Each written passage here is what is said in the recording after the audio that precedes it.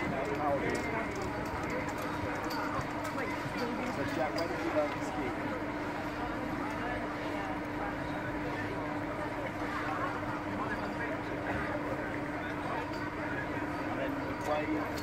Get into ski racing?